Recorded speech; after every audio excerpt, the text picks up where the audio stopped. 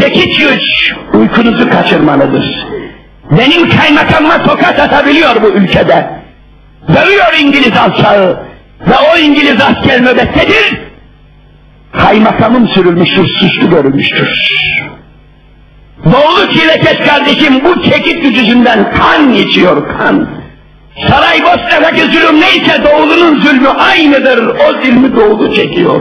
Doğulu çilekeş. Gidip gördüm iki ateş arasında doğdum. Van'ından Elazığ'ına kadar, Urfa'sına kadar gezdim geçen. Allah o kardeşlerime yardım etsin hepimize. Tüm mazlumlara yardım etsin. Edecek Allah yardım etmez mi? Biz masonlara yardımı kestiğimiz an Allah yardımı edecektir.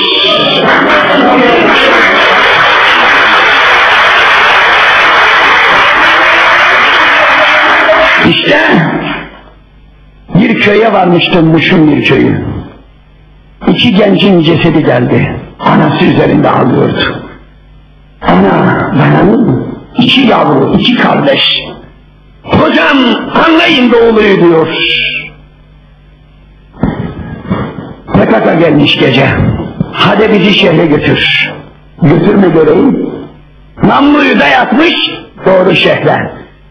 Dolmuş şoförüymüş bu kardeş. Kardeşini de babası emanet etmiş korusun kardeşini diye. Sen de git yavrum. Şehre inmiş asker dur demiş dur.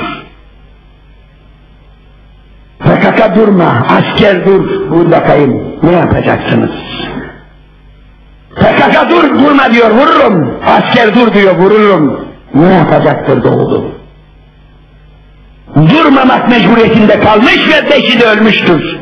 Üç tane katil ama iki tane masum da ölmüştür.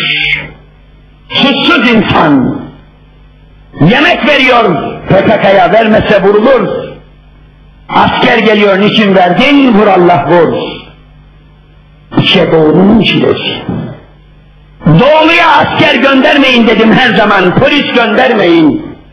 Doğuda çekiç gücü kovun, gönderin maden araştırsın, kapanan kuyu petrol kuyularını açsın, Doğu'nun altındaki, altındaki uranyumları, Doğu'nun altındaki toprak altındaki magnezyum yataklarını açın, Doğu'da terör biter diyoruz, Doğu kasten bu hale getiriliyor.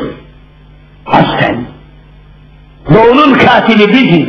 Çünkü o topraklar dünyanın en zengin, dünyanın bakire maden topraklarıdır. Bütün dünyanın gözü orada. Doğu aç, doğuya hapishane, batıya meyhane açmayı saadet görenler, doğulunun eline kelepçe, batının eline afyon vermeyi çağdaşlık gören bu uşak zihniyeti yıktığınız zaman bu çile biter. Allah yıkmaya hazır da siz küfür düzenini tutmasanız yıkacak.